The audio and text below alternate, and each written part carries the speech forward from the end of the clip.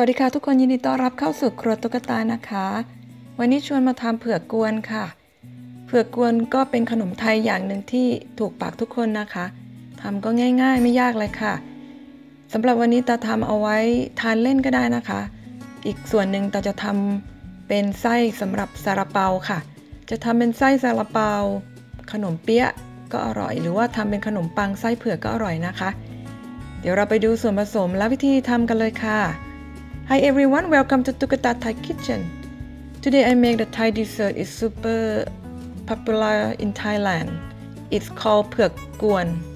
sweet mashed taro, made from taro. So it looks like this. You can make filling for the bowl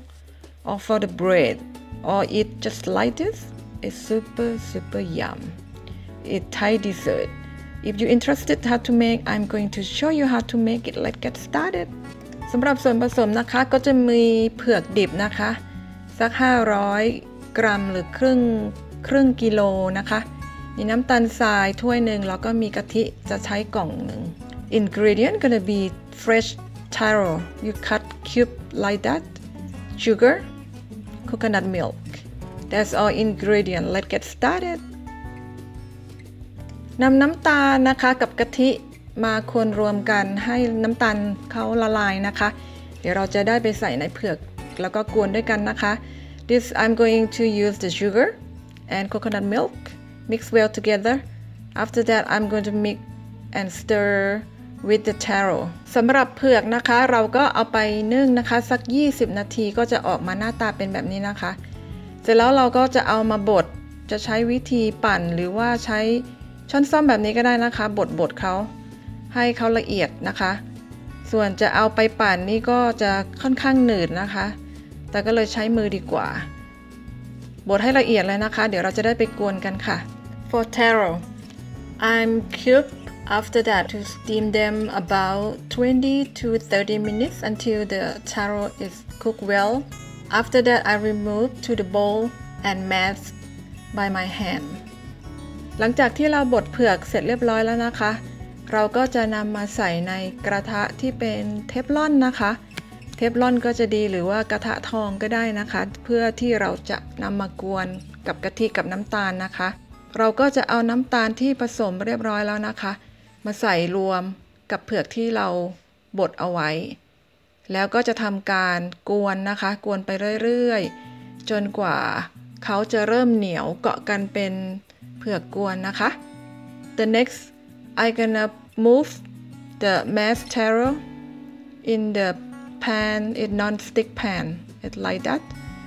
and I gonna mix with the coconut milk and sugar I already mixed well so then I turn on the heat low heat and I gonna stir until sticky จะเห็นว่าเริ่มข้นนะคะเข้มข้นเลยหนืดแล้ว ลักษณะก็จะเหนียวแบบนี้เลยค่ะ This is I stir after about 15 minutes it look like this it's very sticky so you're gonna stir until whatever you like I like to stick a little bit because I gonna make for filling เราก็จะกวนไปเรื่อยๆนะคะสำหรับเผือกกวนของเราก็แล้วแต่นะคะ ใครจะชอบเหนียวหรือว่าชอบข้นขนาดไหน เสร็จแล้วเราก็จะเอาไปใส่ในถาดนะคะแล้วก็ปล่อยให้เขาเย็นค่ะ จากนั้นก็เสร็จเรียบร้อย แค่นั้นก็เสร็จเรียบร้อยแล้วค่ะ หลังจากนั้นเราก็จะมาทานเป็นเผือกกวนเฉยๆ หรือว่าทำเป็นไส้ขนมต่างๆ ก็ได้นะคะ เสร็จแล้วแบบนี้เลยค่ะง่าย ๆเลย หลังจากเรากวนเสร็จเรียบร้อยเหนียวประมาณนี้นะคะเนี่ยค่ะ that's as a well done it's sticky like this I'm gonna remove to the pan and let it cool down after this you can save in the refrigerator and you can keep it long time but for me I maybe I eat for two three days เสร็จแล้วล่ะคะ เราก็เอามาใส่ในถาดแบบนี้นะคะ